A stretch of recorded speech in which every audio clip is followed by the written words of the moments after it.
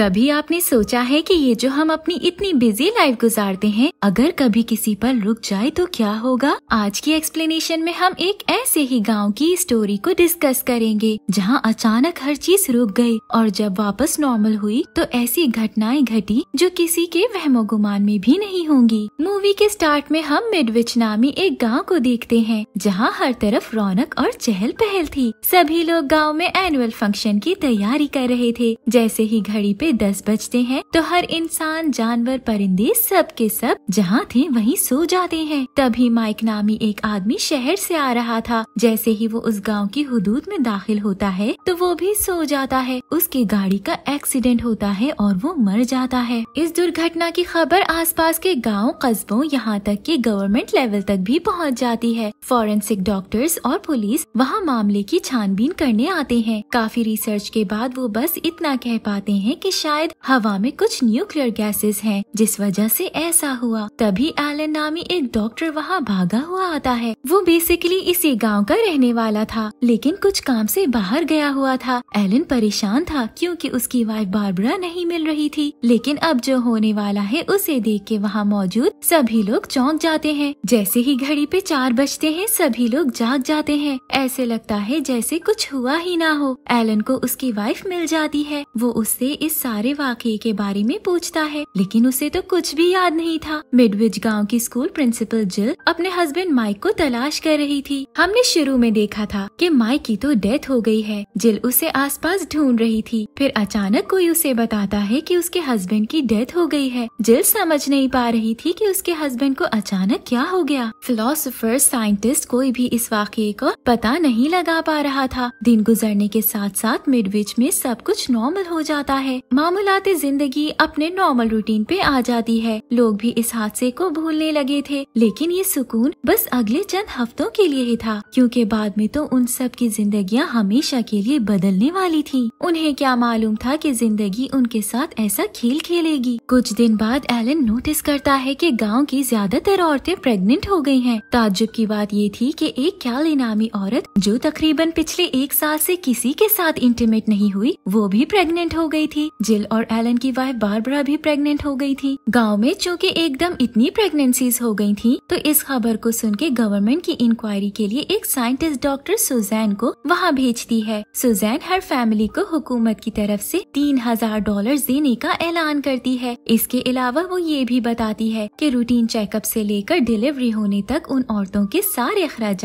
हुकूमत उठाएगी। तीन हज़ार डॉलर का सुन के सभी प्रेगनेंट औरतों की फैमिलीज़ बच्चे पैदा करने के लिए जाती हैं। वक्त गुजरता गया और आखिर डिलीवरी का दिन आ गया। सभी औरतों ने एक ही दिन बच्चों को जन्म दिया। उस दिन पाँच लड़के और चार लड़कियाँ पैदा हुई, जबकि एक लड़की मरी हुई पैदा हुई थी। जो बच्ची मरी हुई पैदा हुई थी, सुजैन उसे वहाँ से छुपा के अपनी लैब ले गई थी, ताकि इस बच्ची पे वो एक्सपेरिमेंट करके बाकी बच्चों की असलियत का पता चला सके। लेकिन सुजैन को भी पता नहीं था कि वही बच्ची बाद में उसकी मौत का सबब बनेगी। पहले कुछ महीनों तक जब तक वो बच्चे जरा बड़े नहीं हुए थे, सब नॉर्मल चलता रहा, लेकिन जल्द ही जिल नोटिस करती है कि उसका बेटा डेविड नॉर्मल बच्चों से बिल्कुल अलग है। जिस उम्र में बच्चे अभी क्रॉल करते हैं डेविड ने क्यूब की मदद से अपना नाम लिख लिया था। बारबरा और एलन भी नोटिस करते हैं कि उनकी बेटी मारा का बिहेवियर बहुत अजीब है। एक दिन बारबरा मारा को जब खाने में सूप देती है, जो कि बहुत गर्म था तो मारा उस पे पहली मर्तबा रिएक्ट करती है। मारा की आईज ग्लो करने लगती है और वो अपनी आईज से अपनी मोम को हिप्नोटाइज करके बारबरा का बाजू गर्म पानी में डाल देती है। उस दिन लकीली एलन घर आ गया था, जिस वजह से बारबरा की जान बच गई। लेकिन बारबरा इस वाक़े को अपने जहन से निकाल नहीं पा रही थी। एक दिन वो गाँव से थोड़ा दूर पहाड़ी से छलांग लगा के अपनी जान दे देती है। एलन कहीं न कहीं जानता था कि बारबरा की मौत की जिम्मेदार मारा है, लेकिन वो इस बारे में किसी से कुछ नहीं कहता। सुजैन ऑब्ज़र्व करती है कि सभी बच्चे जिन्होंने एक साथ जन्म लिया था, एक दूसरे के बहुत क्लोज हैं। सुजैन और गवर्नमेंट की टीम एक मीटिंग करते हैं, जिसमें वो उन बच्चों के बिहेवियर उनकी हर एक्टिविटी को डिस्कस करते हैं और इस नतीजे पे पहुँचते हैं कि हाल ही में होने वाली अमवात और हादसा के जिम्मेदार वही बच्चे हैं। सुजैन उनसे एक और बात शेयर करती है कि मुझे ऐसा लगता है मारा उन सब बच्चों की लीडर है, क्योंकि सभी बच्चे उसे फॉलो करते हैं। कुछ सालों बाद जब वो बच्चे सात साल के हो जाते हैं तो वो बिल्कुल नौजवान बच्चों की तरह जहीन होते हैं। उनमें वैसे तो हर बात अजीब थी, लेकिन एक बात जो उन्हें देखने वाले सभी लोगों को परेशान करती थी, वो ये थी कि ये सभी बच्चे एक लाइन में गर्ल बॉय का पेयर बना के चलते थे, सिवाय डेविड के, क्योंकि डेविड की पार्टनर तो मरी हुई पैदा हुई थी। यही वजह थी कि डेविड अपनी मॉम के साथ थोड़ा अटैच था। वो उन बाकी सब बच्चों से बहुत अलग नेचर का था। गाँव में उनकी इतनी दहशत फैल गई थी कि कोई भी उनके पास से गुजरता तक नहीं था। सभी बच्चे रूटीन चेकअप के लिए डॉक्टर के पास जाते हैं। चेकअप के दौरान एक लड़की की आँख में गलती से कोई चीज़ लग जाती है, जिसका भयानक खमियाजा डॉक्टर को भुगतना पड़ता है। मारा डॉक्टर को हिप्नोटाइज करके एक जहरीला केमिकल डॉक्टर से ही उसकी आँख में डलवाती है, जिसका नतीजा ये होता है कि डॉक्टर हमेशा के लिए अंधा हो जाता है। लेकिन जब डॉक्टर होश में आता है और उससे पूछा जाता है कि उसके साथ क्या हुआ, उसे कुछ भी याद नहीं था। गाँव वाले जानते थे कि इस घटना के पीछे भी इन्हीं बच्चों का हाथ है। नेक्स्ट सीन में हम देखते हैं कि स्कूल प्रिंसिपल जिल एलन से कहती है कि वो इन बच्चों को ट्यूशन दें। एलन कहता है कि ये सभी बच्चे ऑलरेडी बहुत जहीन हैं। इन्हें किसी भी किस्म के क्लासेस देने की ज़रूरत नहीं है जिल कहती है कि इन्हें स्पेशल क्लासेस की ज़रूरत है, जिसमें आप इन्हें ह्यूमैनिटी के बारे में पढ़ाएँगे कि इंसानों के साथ कैसे पेश आया जाता है लेकिन एलन मना कर देता है सभी बच्चे रोज की तरह एक कतार बना के कहीं जा रहे थे कि अचानक डेविड कतार तोड़ के मरी हुई बच्ची की ग्रेव पे आता है डेविड को इस तरह लाइन छोड़ के जाता देख सभी बच्चे हैरान होते हैं, क्योंकि मारा के पूछे बिना कुछ नहीं होता था। मारा खामोशी से खड़ी ये देखती रहती है, लेकिन उसे कुछ नहीं कहती। डेविड जब कब्रिस्तान जाता है तो वहाँ वो उस मरी हुई बच्ची की मोम को देखता है, जो अपनी बच्ची की मौत के सदमे से अभी तक नहीं उभर सकी। वो अपनी बच्ची की मौत का जिम्मेदार इन बच्चों को ही ठहराती है। डेविड देखता है कि कब्रिस्तान में उस बच्ची की कब्र तो है ही नहीं। वो सोच में पड़ जाता है कि अगर वो मर गई थी तो उसे यहाँ ही होना चाहिए था। तभी वहाँ एलन अपनी वाइफ बारबरा से मिलने आता है। एलन उसे इग्नोर करता है, लेकिन डेविड उसके हाथ पकड़ के ये शो करवाता है कि उसे भी इस बात का दुख है। डेविड की इस पोलाइट नेचर को देख के एलन उन सभी बच्चों को क्लासेस देने के लिए मान जाता है। क्लास के पहले दिन सभी बच्चे टाइम से आते हैं।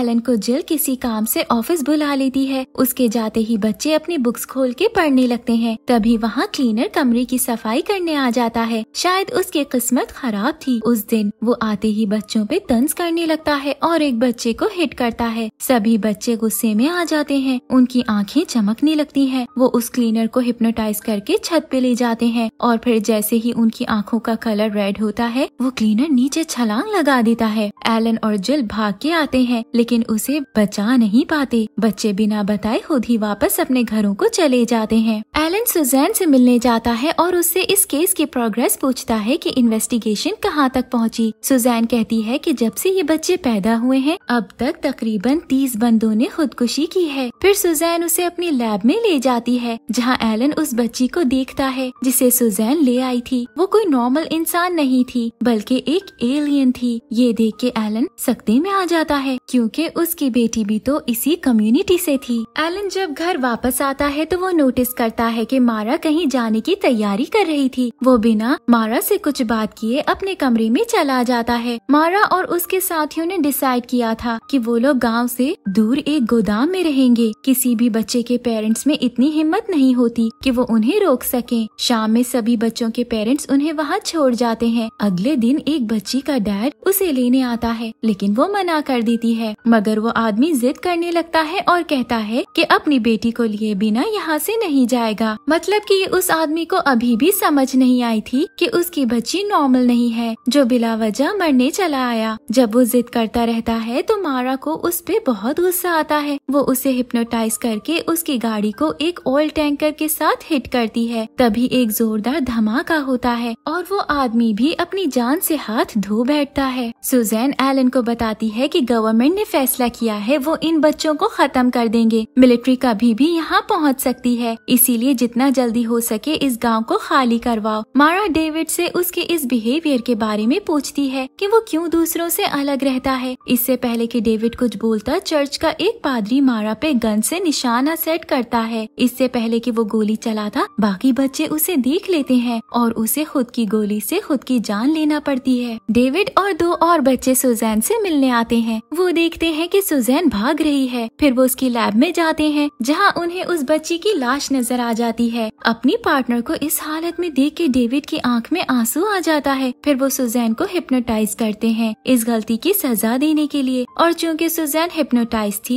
वो अपने औजारों से खुद को ही भयानक मौत दे देती है। इन हादसा से तंग आकर सभी गाँव वाले उन बच्चों को मारने आते हैं। एक लेडी हाथ में जलती हुई लकड़ी लिए बहुत गुस्से से आगे बढ़ रही थी, लेकिन बच्चे उन्हें भी नहीं छोड़ते। हिप्नोटाइज करते हैं और वो सभी लोग आपस में ही एक दूसरे को खत्म कर देते हैं। और जो लेडी आगे आगे आ रही थी, वो खुद को ज़िंदा जला लेती है। एलन और जिल डिसाइड करते हैं कि यही वक्त है इन बच्चों को खत्म करने का। क्योंकि अगर हमने ऐसा ना किया तो कोई और ये कर देगा। एलन जिल को किसी मुश्किल में नहीं डालना चाहता था, इसलिए वो उसे किस करके कमरे में बंद करके चला जाता है। गोदाम के पास पुलिस की एक गाड़ी आके रुकती है। वो उन्हें शूट करने आए थे, लेकिन पहली गाड़ी में से जो पुलिस ऑफिसर निकलते हैं, बच्चे उन्हें हिप्नोटाइज कर देते हैं। और जब सभी मिलिट्री और पुलिस की गाड़ियाँ वहाँ पहुँचती है तो सब लोग आपस में ही एक दूसरे को खत्म कर देते हैं। ये हो क्या रहा है? मुझे तो कुछ समझ नहीं आ रहा। इन बच्चों ने इस गाँव पे अकेले राज करना है क्या, जो सबको खत्म किए जा रहे हैं? एलन शाम में बच्चों की क्लास लेने आता है तो उसके पास बॉक्स में एक बॉम्ब होता है, जिस पर टाइमर सेट था। इन बच्चों के बारे में एक और बात आपको बता दी चलूँ कि इनमें अगले इंसान का माइंड पढ़ने की पावर भी मौजूद थी। यही वजह थी कि वो अपनी जानब आने वाले सभी खतरात से निमट लेते थे। मारा एलन का दिमाग पढ़ने की कोशिश करती है। एलन को भी सुजैन ने उन बच्चों की इस पावर के बारे में बताया हुआ था। इसीलिए वो अपने दिमाग में एक दीवार का स्केच बना लेता है। मारा जब जब कोशिश करती है, उसे एलन के दिमाग में एक दीवार ही नज़र आती है। तब तक जिल कमरे का दरवाज़ा तोड़ के क्लास वाली जगह पे आ जाती है और अपने बेटे डेविड को पकड़ के वहाँ से ले जाने लगती है। बच्चों को बहुत गुस्सा आता है कि वो कैसे इनके साथी को ले जा सकती है, लेकिन उनकी पावर की एक कमज़ोरी ये थी कि वो एक वक्त में दो लोगों को हिप्नोटाइज नहीं कर सकते थे। तो इसीलिए जिल डेविड को वहाँ से बाहर लाने में कामयाब हो जाती है। अब एलन का ध्यान चूँकि भटक गया था तो मारा उसके माइंड को पढ़ लेती है और समझ जाती है कि दीवार के पीछे एक बॉम्ब है, जो अनकरीब ब्लास्ट होने वाला है। वो अभी ये सोच ही रही थी कि एक जोरदार ब्लास्ट हो जाता है, जिसमें सभी बच्चे और एलन अपनी जान से हाथ धो बैठते हैं। जिल डेविड को वहाँ से निकालने में कामयाब हो जाती है। जिल उसे गाड़ी में ले जाती है और कहती है कि वो यहाँ से कहीं दूर चले जाएँगे और अपनी ज़िंदगी की एक नई शुरुआत करेंगे। लेकिन डेविड के माइंड में तो वही बॉम्ब वाली दुर्घटना घूम रही थी। वो बाहर की तरफ़ देखता है और इसी सीन के साथ ये movie village of the damned end हो जाती है। सोचने की बात तो ये है कि डेविड भी तो उन बच्चों में से ही है। अब वो जहाँ जाएँगे, क्या वो वहाँ नॉर्मल बच्चों की तरह रहेगा? या वो ये सोचेगा कि उसे अपने बाकी साथियों की मौत का बदला लेना है? मिलते हैं नेक्स्ट वीडियो में एक और इंटरेस्टिंग मूवी के साथ, तब तक के लिए good luck and thank you for watching